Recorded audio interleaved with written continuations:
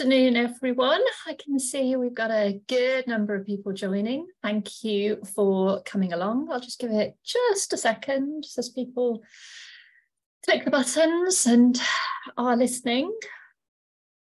I hope you're not in too much rain where you are. I'm happy to report we've got a little bit of sunshine in Cornwall. Probably won't last very long.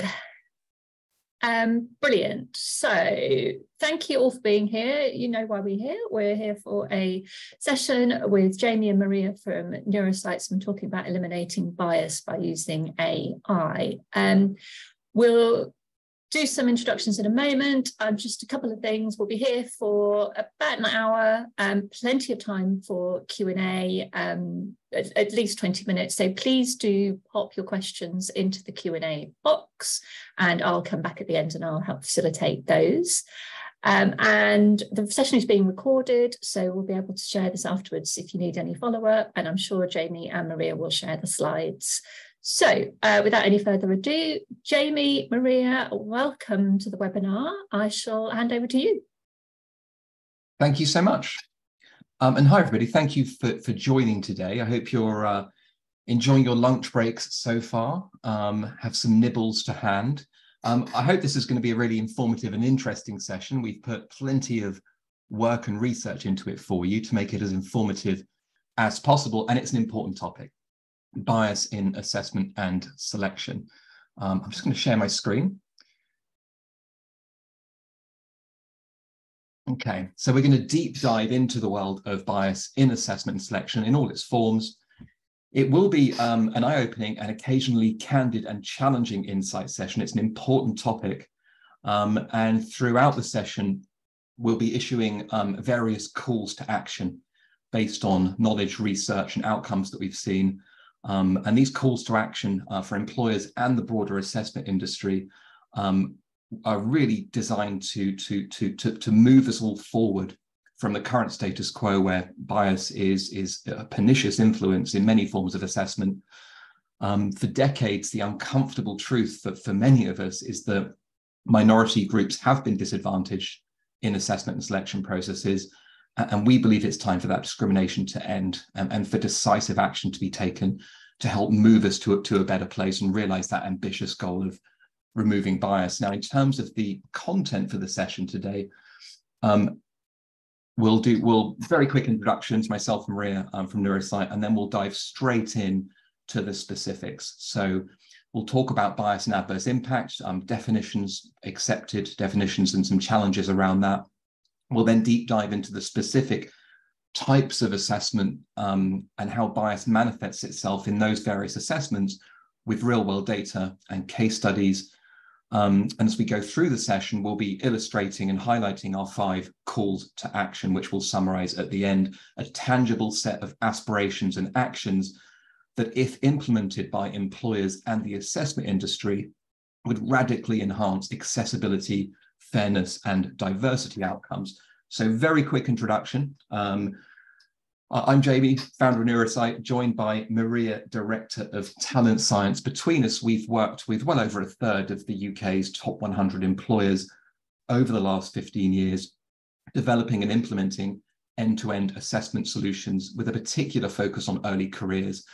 And what that real world experience has given us is a really detailed understanding of exactly how those processes work and the specific diversity outcomes that they generate and where the particular challenges are. So as we go through this session today, we'll be leading partly into that real world experience as well as the latest academic research in the field. Uh, and we'll be highlighting many insights that we've gained um, over the last 15 years relating to bias and adverse impact. Um, so very quick introduction to Neurosight if you're not familiar with us. Um, we were established in 2019 as a response to the challenges encountered in traditional assessments. And in a nutshell, we combine um, uh, neuroscience and artificial intelligence to create online assessments that deliver very high accuracy and no bias in a short space of time. Now, I promise this is not going to be the neurosight hard sell. Um, you know, um, our AI-powered assessments are wonderful, of course, and I encourage you all to buy them. Um, however, um, this the purpose of this session is not going to be me selling Neurosight. We're going to dive straight into the main topic now, which is bias in assessment and selection. Let's dive in. So what do we mean, firstly, by bias? Well, um, fairly straightforward definition is the systematic tendency to favor or um, disfavor certain groups, resulting in discrimination based on characteristics such as race, gender, disability, age, or other factors. Um, that's a fairly uncontroversial definition. Most people accept it. So um, that's a good starting point. In relation to bias in assessment and selection, and what we're going to focus on today, it's fair to say that despite considerable efforts by employers and the assessment industry um, to eliminate bias, it, it, it, persists and it remains highly problematic. Um, it does exist in all stages of the recruitment process, but there are some elements of assessment and selection that are more challenging than others, it's fair to say. So, for example, in the application stage, um, you know, employers can take concrete steps such as anonymizing applications, um, for in-person assessments such as interviews, you, you can um, undertake things like you know, use structured behavioral interviews, unconscious bias training. We're not going to focus on that kind of low-hanging fruit in this in this session. We're going to dive into the really challenging uh, aspects. Um, uh, most employers that we speak to around this feel a sense of control around things like the application and in-person or virtual assessment stages. They feel they can influence the outcomes there, the diversity outcomes the big challenge for employers is often the online assessment component. This is where the adverse impact or, or bias is often felt most strongly. Um, it's very challenging to fix. Uh, it's persisted for decades. um, and when it comes to early careers hiring in particular, uh, vast numbers of candidates are screened out using these assessments. So not only is it the most problematic from a bias perspective, it also has by far the biggest impact right? Uh, you know, sometimes up to 90 or 95% of applicants are screened out using these various types of online assessments. So we'll be deep diving in this session into specific types of online assessment, what is driving that bias, what is driving those negative outcomes, and critically what we can do about it. Um, so I hope that'll be really interesting. Now let's start with with with um, defining adverse impact because before we dive into the specifics of bias, this is a useful term to um, define and be comfortable with. So um, this is the phrase that perhaps many of you are familiar with, adverse impact, often defined by the four-fifths rule. It's a popular method to detect bias in selection processes. Now, it's a guideline, interestingly, that was originally introduced in the US um, to determine if selection processes had an impact on minority groups. And what it states as a rule is that if a minority group has a success rate less than 80% that of a majority group, that is adverse impact, right? It's a bit of a binary thing. It's either you, you've got it or you haven't. It was originally defined by the US Equal Employment Opportunities Commission uh, and placed into the Uniform Guideline on Employee Selection in 1978. So 40, a year I was born, 45 years ago.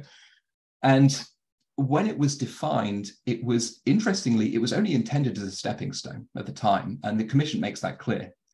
Um, and yet here we are, 45 years later, and we're still using it as a kind of gold standard, which interestingly, it was never intended to be. It was always intended to be a stepping stone towards eliminating bias, a compromise, and it was a compromise, and it was hotly debated at the time. And I think if the original members of the commission are still alive today, I don't know if they are or they aren't, but if they are, I think they'd be both surprised and a bit disappointed that we're still using it as a kind of gold standard for reasons we'll describe. So there are quite a few criticisms of the four-fifths rule. This isn't just criticisms that I'm making. You know, the, the, the, these are well understood, well discussed criticisms that were made at the time in 1978. Let's explore them. So, so one of the criticisms is um, that there is um, a significant tolerance for inequality. So if your selection process only has a 19% disparity between, say, black and white candidates, then according to the, the four-fifth rules of adverse impact, there is no adverse impact, which feeds into another limitation. It's a binary measure. Either you've got adverse impact according to this definition or you, you haven't. And that, that tolerance for um, disparity um, some critics would suggest, and I'm, I'm very sympathetic to this view, that it legitimizes meaningful inequality in employment opportunity and selection processes.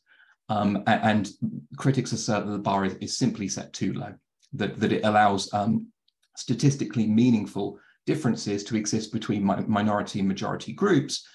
And it, in effect, it's a bit of a cop out, really. Um, and um, that's characterized by, by the phrase that it, it's insufficiently ambitious. Uh, the, the, the, rule is not really ambitious enough. If we're serious about providing equal opportunity to all, then we want to go beyond the four fifths rule, right? I mean, wouldn't a great place to be um, to be um, in, in, a situation where we don't have statistically significant performance differences between men, women, black, white, disabled, not disabled? Wouldn't that be something that's worth aspiring to?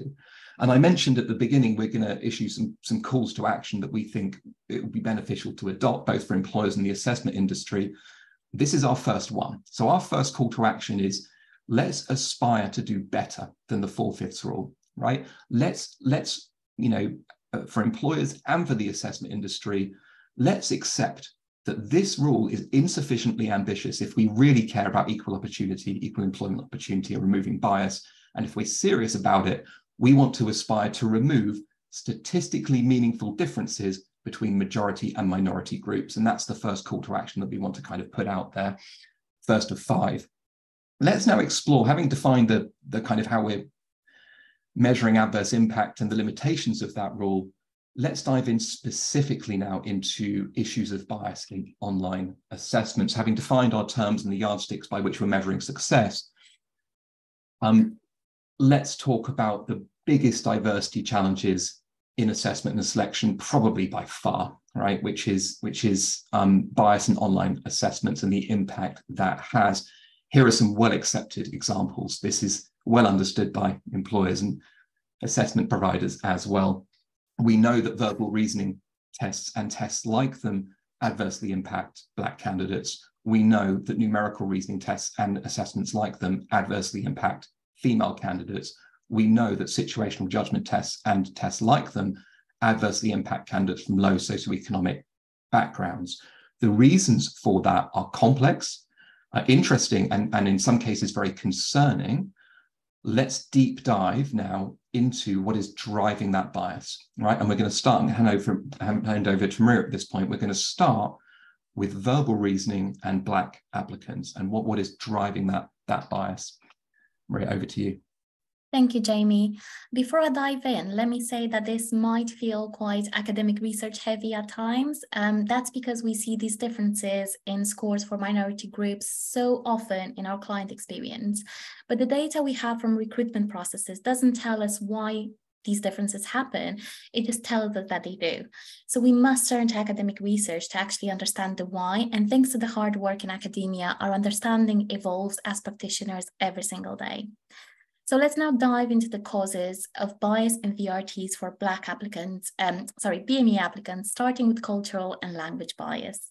This may sound incredibly obvious, um, but ethnic diversity is not just about skin color. There is a deep historical and cultural dimension. And one of the ways this transpires is through the beautifully rich and diverse language that is used by many cultures. For example, cultural linguistics research by John Rickford has shown that African American vernacular English that is used by many African Americans has its own unique grammatical structures and vocabulary, which can differ significantly from the standard um, American English that is used in many, many tests. Test developers need to be aware of these differences and take steps to ensure that their tests are both culturally and linguistically inclusive.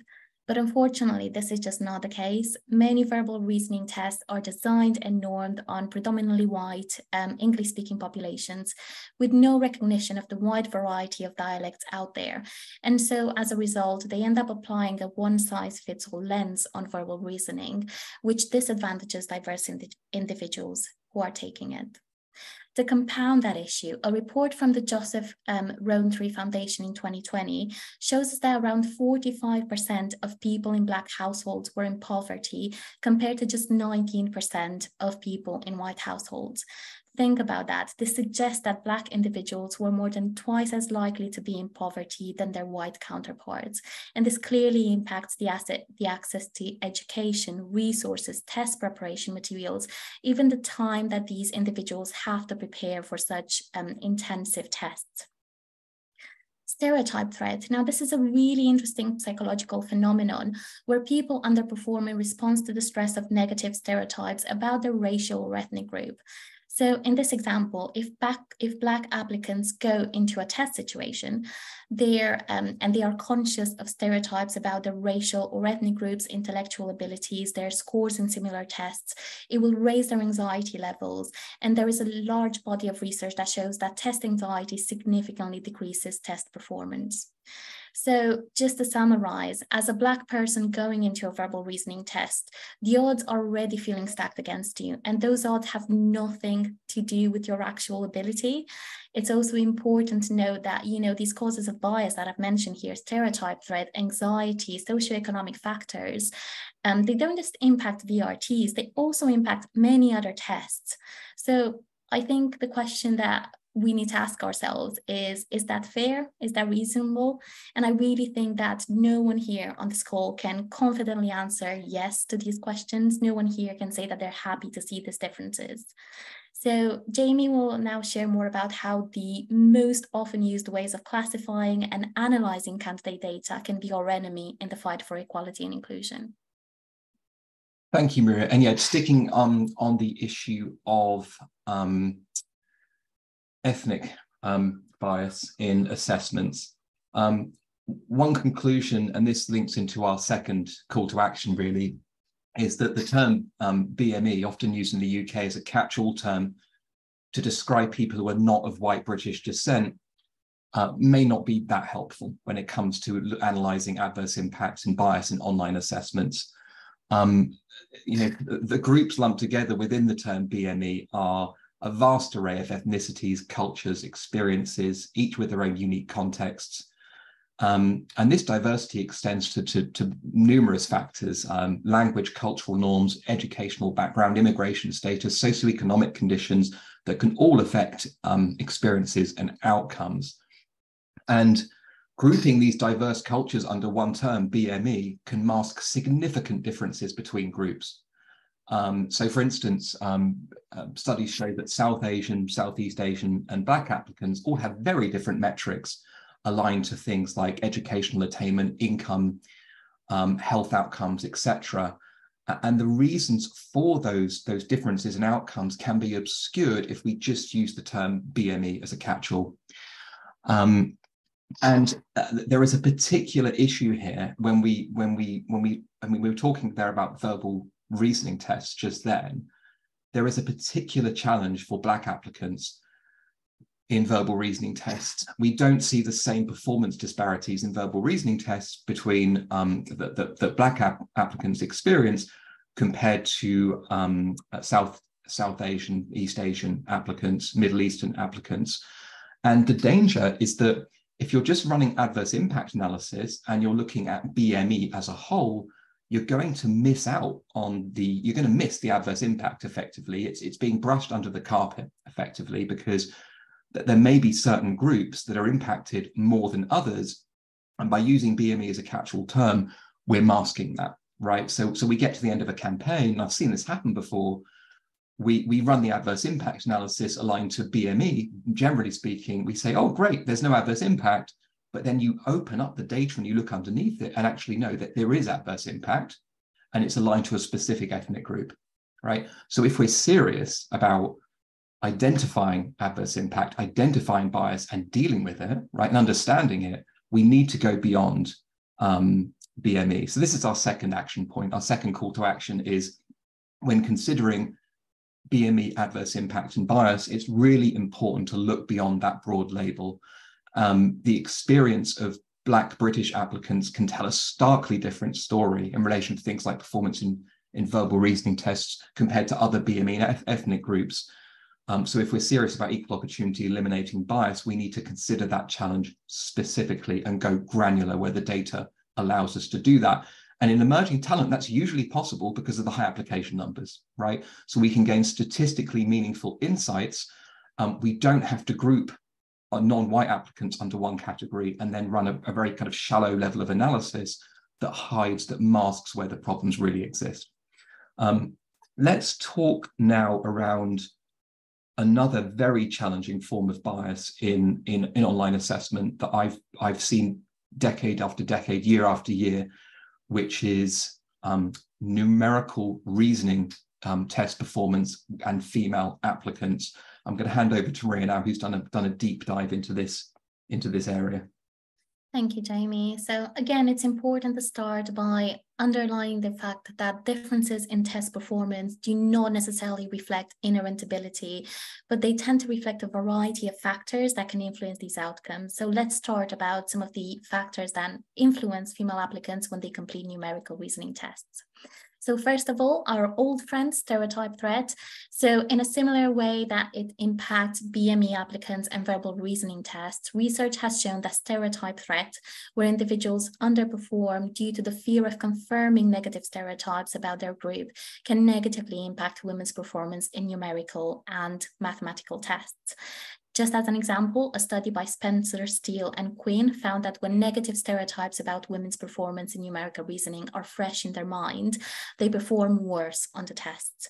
And there is a link um, between that heightened anxiety again and reduced performance repeats because it's very likely that that heightened anxiety is what lies between um, knowing the bias and the, the result as well. There's also the wider society, you know, how often in the world around us are mathematics and numeracy um, casted as male fields, these stereotypes can really discourage women from pursuing studies or careers in these areas, leading to less exposure, less practice with these um, type of tasks. And that's really reflected in educational encouragement as well. So girls may be less encouraged to pursue math intensive subjects or may even receive less reinforcement when they do pursue these kind of tasks and achieve um, really great results in these areas. Now that can obviously influence their confidence and skills in numerical reasoning.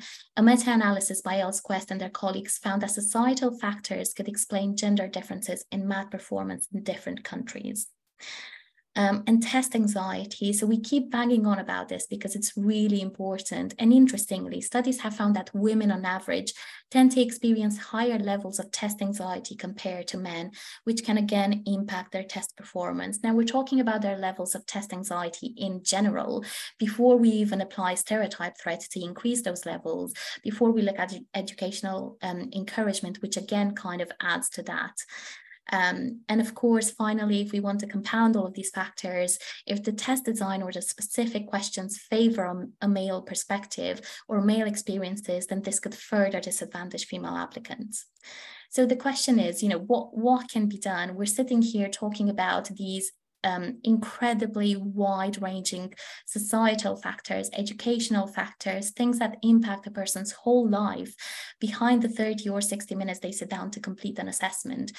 And you know, it may sometimes feel like the only option is really to accept defeat and, you know, think that you can't fix a lifetime of disadvantage with just a test. And I, I have personally felt that at times. Um, but what we want to do is to, to challenge that and challenge ourselves in the process as well. We believe assessment providers and test publishers must adapt to the world as it is, unequal with biases, with disadvantage, and really find ways to consider that in their assessments to start leveling the playing field we believe we need to completely rethink our approach to cognitive assessments if we are serious about removing bias. And Jamie will tell us about the solution that we have found particularly effective in doing that. Yes, so we didn't accept defeat, did we? Um, we've been experimenting with different ways of measuring cognitive ability, um, and, and, and, we're going to share one that we found particularly successful um, at removing bias while still being effective as an assessment measure. And um, you know, I just also want to emphasize the importance of this, right? We all know everybody working in the assessment industry and any employer who's seen the data knows that this is a problem and it's a serious problem, right? We know that Black people underperform in verbal reasoning tests. We know that females underperform in numerical reasoning tests. Isn't it time we did something about it, right? Rather than designing the same tests over and over again and hoping for different results, which never materialize. So it does require us to challenge ourselves and think differently, right? We can't fix this by just doing the same thing over and over again. And um, one thing that we've been exploring, and we're going to share um, a little bit of data around um, how we've been doing this, and it's it's so far that the initial data we've seen is, is really promising. It's moving to indirect measures of cognitive ability. So um, now these won't be suitable for every use case, right? I mean, if you're hiring, for example, you know, an accountant, right, you're going to need some direct measure of an analytic ability at some stage in the process. But but here, what we're really talking about is we're talking about um, where these assessments are used in early careers volume screening situations to screen out vast numbers of people, and the adverse impact is driving a broad range of negative outcomes. Now, um, an indirect approach to highlighting a candidate's affinity or preference for working with numbers rather than focusing on raw numerical ability, we found is, is can be both extremely quick, right, in terms of its delivery. 40 seconds is about all, all, all, all we need um, to, to measure that. And what we've also found is it's highly correlated with actual performance in a numerical reasoning test, right? That 0.7, really high, really good correlation. Um, and, and through that indirect measure of, of, of, of, of preference um, and affinity for, say, working with numbers in a workplace context, what we've been able to do is hugely reduce the dropout rate, right? Which often adversely impacts certain groups. Um, and eliminate the performance difference between male and female applicants. Now, you have to be quite clever with your item design. We put a lot of items into validation to get to this point. Some worked, some didn't. Some still had the adverse impact, others didn't. And what we were looking for were items where there was that strong correlation with actual numerical reasoning ability, but none of the adverse impact. And so this indirect measure of numerical, um, um, uh, we call it numerical mindset. It's not a direct measure of numerical reasoning, it's an indirect measure. But as you can see, it is highly correlated. And you know, sure, this is very different to a traditional approach to assessment, but it needs to be, right? It needs to be different. If we expect to, to drive, you know, improvements in accessibility, in fairness, and in diversity outcomes, we have to think differently. There's no, there's no other choice. We've been trying the same thing for decades and getting the same results, right? It's, it is, it is, I would suggest, time to think differently. And this feeds through into our third call to action. If we are serious about eliminating bias and opening up opportunity, we can't keep repeating the same mistakes year after year. We can't take the same approach decade after decade, year after year, and expect different results. It won't happen unless we fundamentally change the way that we assess. And we need to be a bit creative and a bit innovative about that. So our third call to action is this, move to indirect measures of cognitive ability where it's possible to do that, because it will provide a highly correlated measure of ability um, interestingly, um, it, it, can also tap into preference, a bit like a strengths-based lens on cognitive ability. Because one thing that's worth noting about um, cognitive, um, uh, you know, say a numerical reasoning test, is it does test ability for sure. It does not test preference. It does not test enjoyment for working with numbers, right? You can do that with an indirect measure. So in some ways, you could argue it's a bit better, right? Because you're getting that lens on on preference in, in a way that's highly correlated with, with, with ability. Although caveat there, look, if you're hiring somebody who's going to do lots of deep analysis and so on, you'll want a later stage assessment, perhaps your virtual assessment center or in-person assessment center that measures that. But as an upfront assessment, as an online assessment, this can work fantastically well. Let's now explore. Um, we mentioned, um, you know, three main sources of problematic bias in online assessment, didn't we? We mentioned um, verbal reasoning, um, ethnicity, uh, gender numerical reasoning. Let's now talk, let's now explore um, SJT type assessments, scenario based assessments, and the adverse impact we often see aligned to socioeconomic status and the causes of that. And I'll hand over to Maria to do another deep dive. Thank you, Jamie. So I think everyone on this call is familiar with situational judgment tests or SJTs. They are widely used in recruitment to assess an individual's judgment or decision making in job related scenarios. And while these tests aim to be objective and fair, and they are, um, as compared to cognitive tests in regards to, um, to certain groups, research indicates that applicants from lower socioeconomic backgrounds may still underperform in these tests for um, some of these reasons. So first of all, it could be a lack of familiarity with work context. SJTs often depict scenarios or dilemmas which are very grounded in professional white collar settings. An individual from lower socioeconomic backgrounds may have less exposure to these contexts, making it harder for them to understand or respond effectively to these kind of challenges. Um, there's also a, a, question around the access to preparation resources. So SJTs can be prepared for, um, and there are many resources out there available to help individuals improve their performance. Applicants from lower socioeconomic backgrounds may lack the resources to access this kind of preparation material, putting them at a disadvantage. They may also be less likely to attend the kind of school um, or um, education which actually provides them with, with this level of support as part of their courses. There's also a question around test length and fatigue. So we know that longer tests can easily lead to fatigue, which can impair performance. And applicants from lower socioeconomic backgrounds may be particularly susceptible to this if they are balancing multiple responsibility. You know, they could potentially be a carer or they may be working at the same time and have less time to rest or prepare for the test. Um, there's also a question, of course, around socioeconomic bias in, in test content. If the test content subtly favors a middle or upper class perspective or experience, this could very easily disadvantage applicants from lower socioeconomic backgrounds. And finally, again, uh, we keep banging on about this because it, it is so impervious to absolutely everything when it comes to assessment, but test anxiety is so important. Research actually shows that Test anxiety can impair performance on high stakes tests, and individuals from lower socioeconomic backgrounds may experience high levels of stress and pressure related to these tests, given the greater impact um, of potentially losing or gaining a job opportunity um, and what this means that what this could mean for their lives. Um, there's a lot of studies out there that have linked lower socioeconomic status with higher levels of anxiety, including test anxiety. And one of the most important ones is actually a meta-analysis, um, which is one of the most trustworthy, meaningful studies that you can find. Um, and um, it's a meta-analysis from 2005, which shows that socioeconomic background is a significant predictor of academic achievement. And this was mediated by test anxiety. So basically, if you come from a lower socioeconomic background, you're more likely to have high um, levels of test anxiety in general, and that in turn is associated with lower academic achievement. So once again, we kind of see test anxiety driving adverse impact all over the place for so many different groups.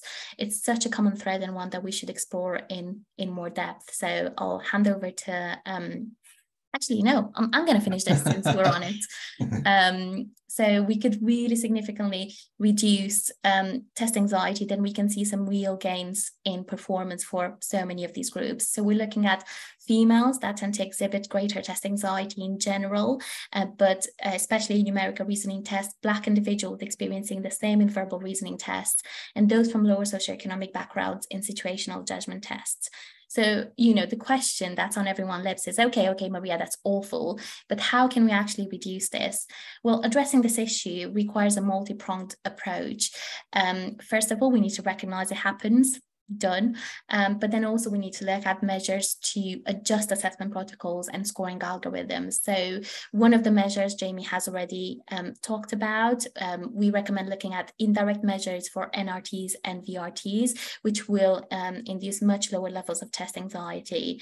Um, and this could also assess these abilities in a more contextual or integrated manner to help alleviate this. So, for example, instead of isolating numerical or verbal reasoning tasks in their own abstract test, these skills can be evaluated as part of broader problem solving or critical thinking tasks. Um, we also, you know, want to urge you to consider alternatives to situational judgment tests. While they can provide valuable insights, um, they can also be very time consuming and as a result, stress inducing, particularly for some of these individuals that we've mentioned.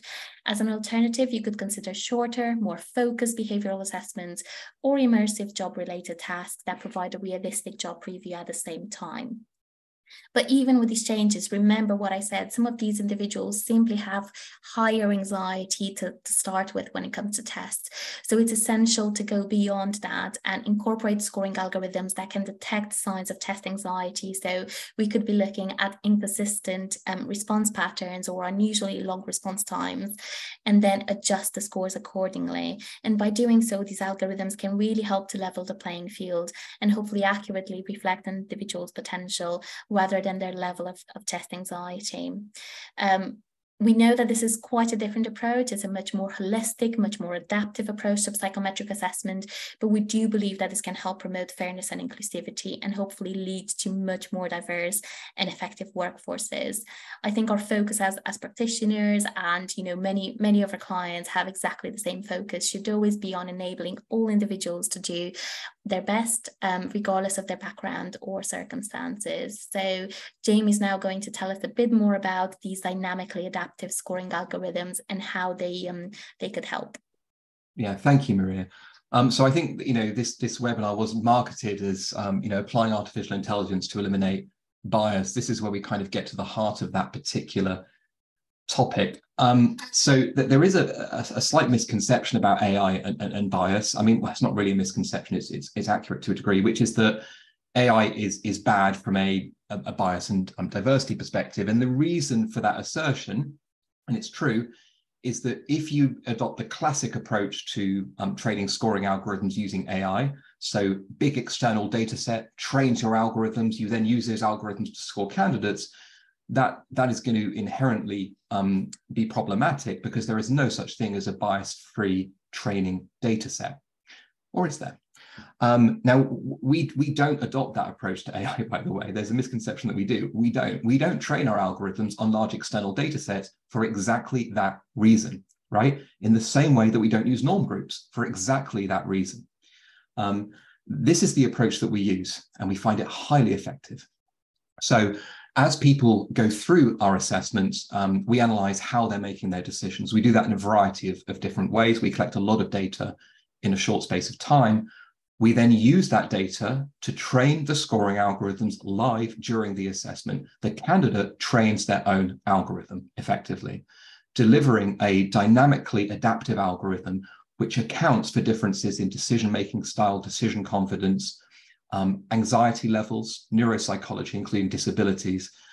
And the impact of that is that we're able to deliver um, bias-free insights. On the methodological level, this is an inherently bias-free approach to scoring because the candidate is training their own algorithm. Now, it was this approach, um, incidentally, which enabled us, I've got it right here, keep it on my desk, um, which enabled us to win this. the Commitment to Improving Diversity Award 2023 from the ISE in partnership with the NHS. Um, and that, that was part of that award submission, right? We're, we're using these dynamically adaptive algorithms which identify individual differences, accommodate them very effectively, um, and, and, and the scoring adapts as a, as a result. Um, so, so this feeds through into um, another call to action. When we're talking about assessments, we can't ignore the pernicious influence of norm groups, right? Uh, or um, scoring algorithms trained on large external data sets, pretty much the same thing, really. Um, so um, now, it, it,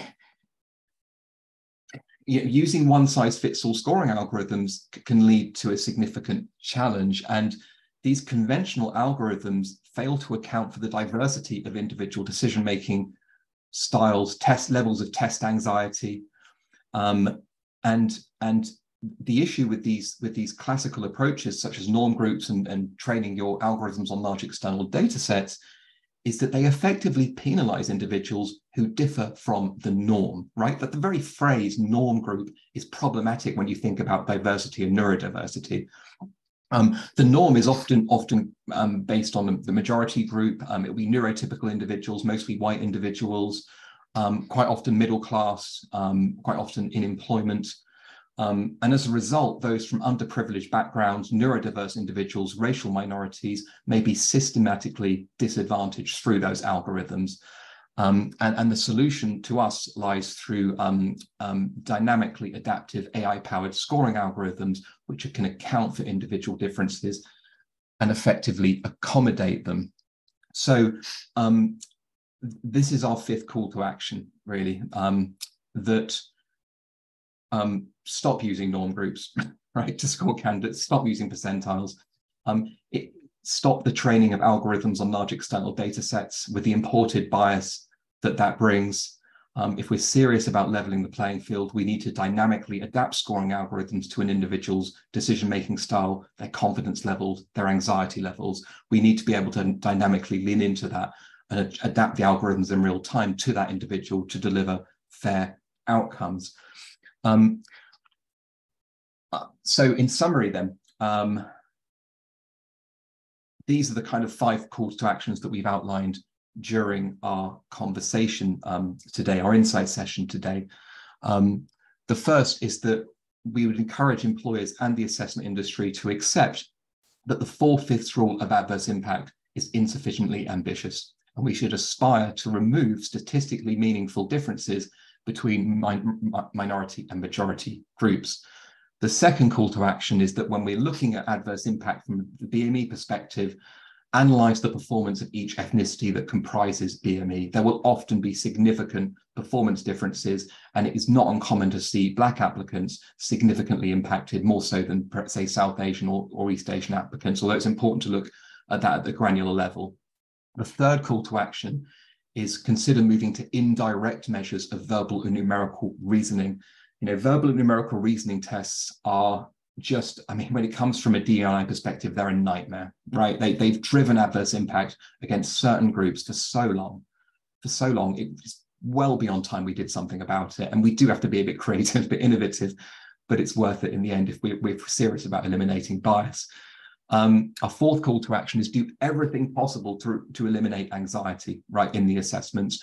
And, if, and um, that will deliver if we're successful in doing that, um, reducing anxiety will deliver diversity benefits aligned with socioeconomic status, disability, gender, um, um, ethnicity. One thing that we've hopefully made clear through this insight session is test anxiety is a highly pernicious influence that negatively impacts a broad range of individuals in various assessments.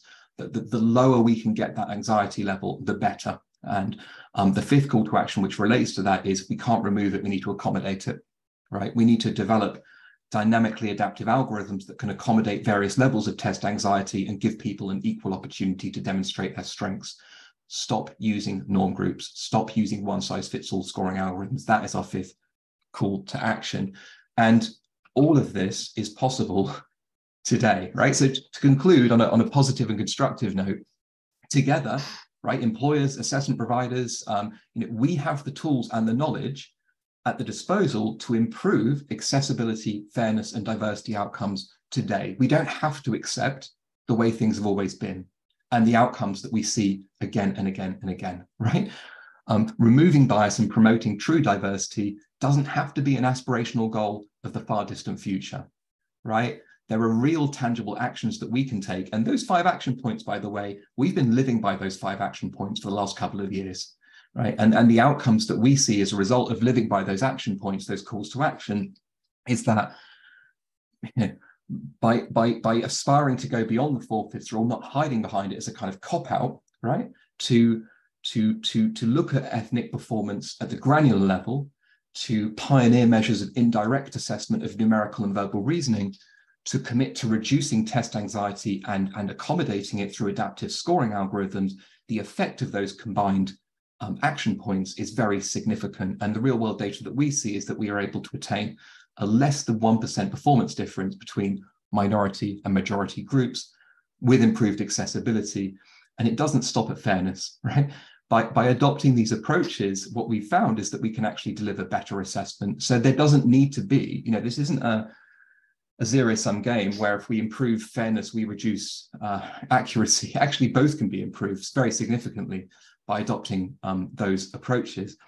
And what this hopefully demonstrates is that if we raise our levels of ambition, if we embrace innovation and we commit to making assessment and selection fairer from the ground up, we can achieve great things together. And we're proud, we're proud to have been focusing on this for the last few years. And we invite you, assessment providers, um, employers, to join us on this, this crusade in, in, in moving assessment and selection towards a future where true fairness is the norm and not the exception. And on that note, um, we will conclude and open for questions. I hope that was interesting.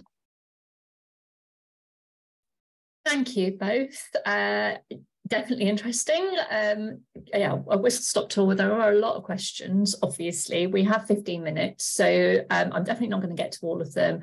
And some of them are kind of very quick answers from you, I would think. So some of them will be a bit meatier. Let's see how we get on. And I'm going to just scroll back up to the top. Um, so a comment, I'm not sure we'll get to the why we think this is, but um, a comment that a lot of black candidates also fall short at numerical reasoning. So I know you chose that as an example, but I'm sure there's an acknowledgement that that's, you know, that there are other crossover there. Um, the person who asked it would, would like some discussion about why we think this is. I think maybe we can pop that into a diversity conversation at some point. Um, if there's any evidence uh, for that, I think it would be really useful if you guys could share that. Um, Julie's asking if there are more recent, so it's probably one for you, Maria, the more recent studies relative to women's performance and the notions of the stereotype threat, um, just because there's been so much more work on raising aspirations for women in STEM-based roles, and just wondered if there were more contemporary views um, on whether the studies you've looked at do kind of reflect that. Are you aware of um, anything? Yeah, I actually haven't seen a lot of recent studies at, at the same kind of level of quality to, to show this. And I do think with with these the kind of work that has been done in, in the last years, absolutely it's it's commendable. And I genuinely think we should do so much more of it. But I do think is the kind of work where the difference is going to be seen with time um, because although there is there is still work that is done kind of at different touch points for these um, for these female students for example you know there's still the wider society that is telling them something else. Um, so um, we'll definitely have look you know continuously to kind of see if there's any any new studies but I would I would expect the results to kind of be seen later on in terms of research than than immediately. Um, Jamie, have you seen anything else? Would you add anything?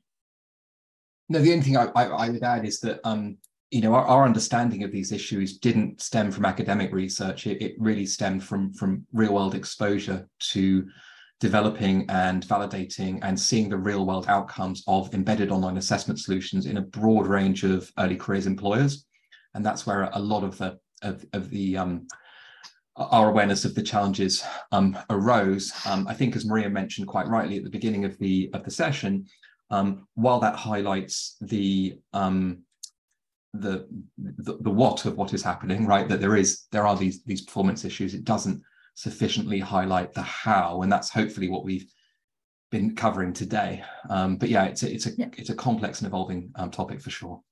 It is indeed, and I'm sure there will be, you know, increased uh, research. It takes time to put together these research projects and to do meta-analysis and all the rest of it. So let's hope things are moving forward on that, which is great.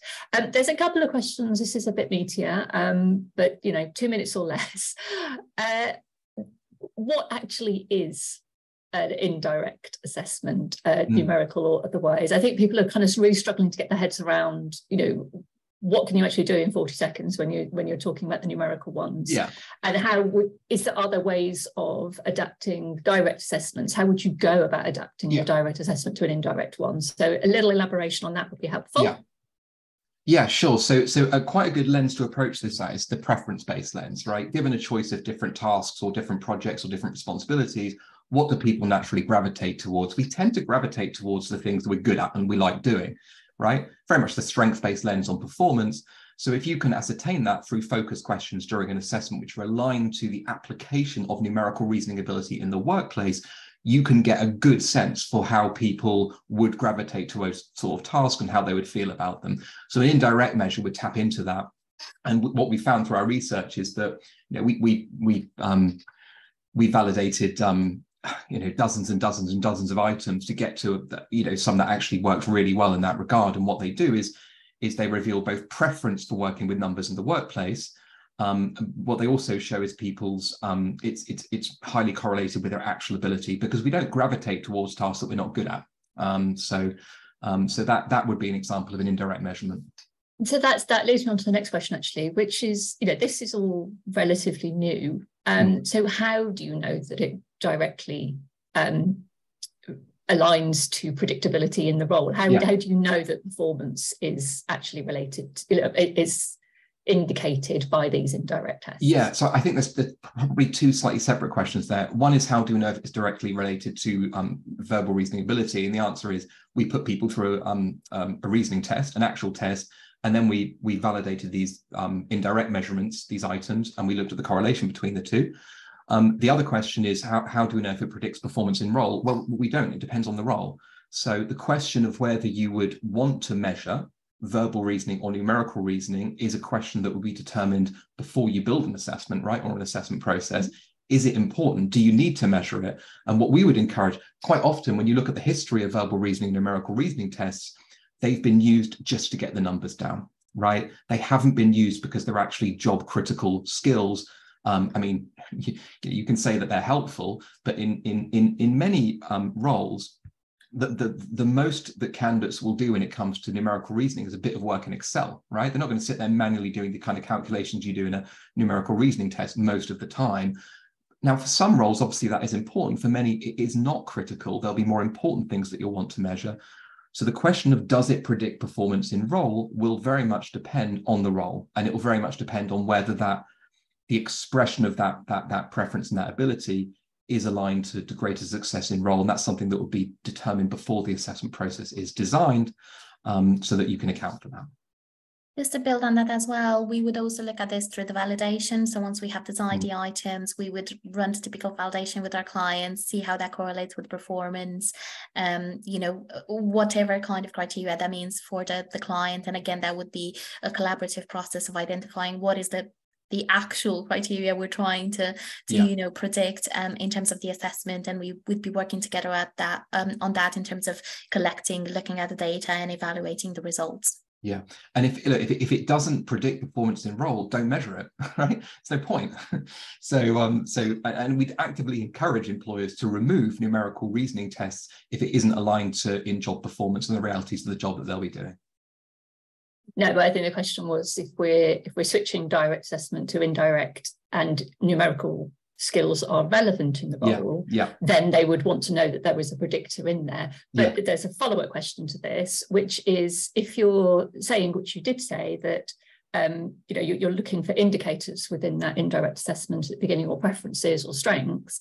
And then if you are saying you do need a high level of numerical skills, that there mm. should be a further test. Yeah how can you be sure you're not re-interested, re, uh, sort of introducing bias at that point? Yeah, so um, what's interesting about this is when you look at performance in assessment centers aligned to things like analytical exercises, you don't off you don't see that adverse impact a lot of the time. So so um, that, that's that's the fascinating thing about it because the kind of analysis exercise you might undertake in a final stage assessment process is very different in feel and character to a time limited or time recorded numerical reasoning test and the kind of items that presents in the abstract. Um, so while numerical reasoning tests, we, we, we know adversely impact female candidates, we don't see that same level of adverse impact in well-designed end stage assessments. So it's possible to, to, to, to have that robust measure um, and not reintroduce that adverse impact. Okay, that's helpful. Thank you. I'm just scrolling through because there's more coming up as we go on, and I'm also keeping an eye on time. Um, there is a comment from from Phil in here, which you know there are, if done well, positive diversity outcomes for online testing. So I think it's, it's not always the case that things are particularly negative. And and Phil saying within civil service, you know, there's bespoke uh, situation judgment tests, there's style questionnaires, there's other things that um, can really give positive results in there. So I think we need to acknowledge that it's not it's not all bad in their space, um, if done well. If done well. Um, that's fine. Uh, there's a question about, uh, I think this is, this is an interesting one. You talked a lot about the anxiety levels and the effect on performance. Um, examples of how you can meaningfully reduce that. I mean, any test, even the ones we're talking about here, if hmm. you're mm. from a certain background or have a certain characteristics, then you know anxiety levels are high. Any thoughts yeah. on how to helpfully, meaningfully reduce that level of anxiety?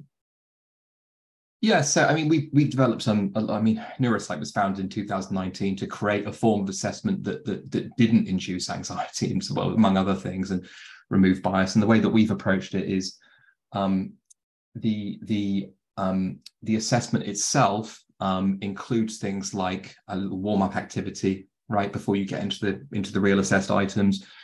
It, it feels very straightforward to complete. It doesn't feel difficult to complete, even though we're getting a lot of useful information. It doesn't feel like being put through the wringer. Um, so it is possible through through smart design to develop assessments that don't feel stressful to complete, um, and that that is helpful. However, we must acknowledge that test anxiety will will nonetheless exist even if the assessment has been designed not to be stressful. Um, and and that's why we also have to pair it with adaptive algorithms that can identify that right? So that you're you're not being penalized for having a different way of expressing your decision confidence because your nerves are high. Um, and, and that so that it, it's about the pairing of both the, the, the assessment design itself with those adaptive algorithms. But it, without that pairing you can't really fully address the issue. Um, so it's it's it's it's it's the two together. Okay. And there was a point earlier around um, you, you mentioned about taking the time a longer time to answer, particularly in numerical reasoning tests, may yeah. be an indicator of heightened anxiety. But we don't know that no. at that point. There could be anything else going on in there, including chat ChatGPT potentially. So it, it's it's tricky to, as always in these cases, attribute everything to one thing, right? There's there's yeah, a lot um, of nuance in all of this. Right, and we, it's not a diagnostic tool, right? We're not putting people no. through the assessments and saying, oh, you have a a, um, a, response pattern that's outside the norm because you're anxious or because you're dyslexic or because you're dyspraxic, etc. What we do see is that there is a response pattern that is outside the norm. We don't know why that is, but we're going to account for it and adjust anyway, right? To, to ensure that they're not disadvantaged for whatever the reason is behind that response pattern. Okay, lovely, thanks. Um, and a question or a request really for a, a bit more detail on how you measure accuracy overall, I guess. Um, so that's a very broad question. it is a very broad question, and uh, but it was it was at the point at which we started doing the Q and A. So I think it's just I, am guessing it's a correlation question. So how, how are you how are you measuring the accuracy of your oh okay yeah yeah yeah, into... yeah. sorry sorry yeah. that makes sense. Yeah, so so um, we we adopt the same. Um, you know, if if an employer has ever gone through a process of building and validating a bespoke online assessment, that's the process that we go through, right? So it starts with job analysis. Are we measuring the right things for the right reasons? The assessment is built to measure those things, and the assessment is then validated, right? So it's validated on internal employee pool, typically up to 100 people or so. If not, we use a panel provider to get the numbers. Um, and it's through that validation process, which um, you know is, is aligned to industry best practice, that we would establish the accuracy of the tool in much the same way as you would for any bespoke online assessment tool.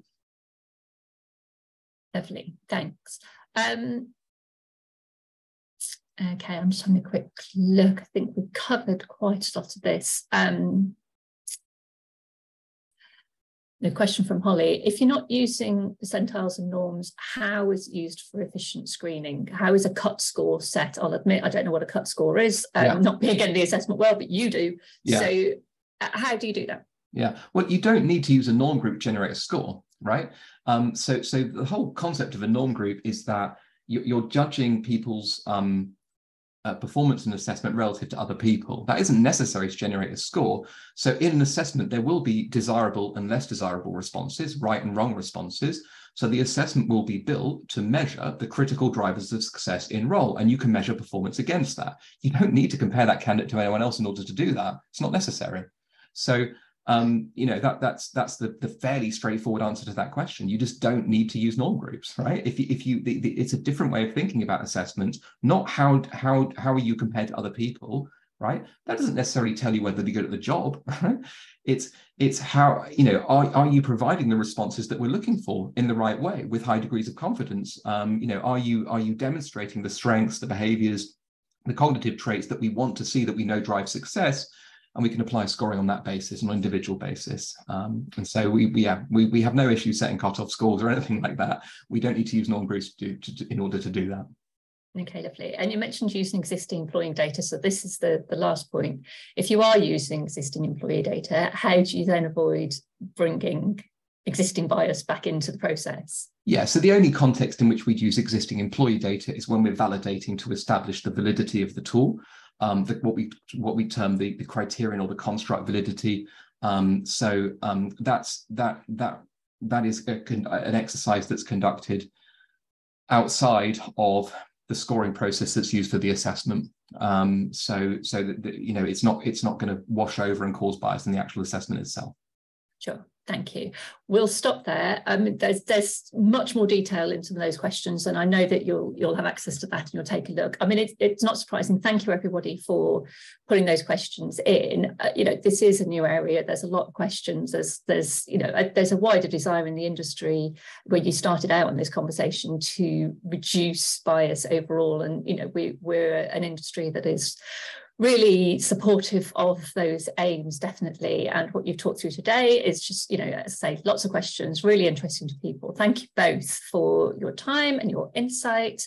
Um, everybody's looking forward to getting the slides so they can reflect on this. And I'm sure if there are questions that people have that we haven't answered yet, you'll be really happy to have those directed towards you and to follow up. So we'll leave it there. Thank you, everybody, for joining us. Um, we will follow up when we can. Have a lovely rest of your Thursday and heading towards the weekend. We're not that far away. So have a great rest of the week. We'll see you soon. Thank you.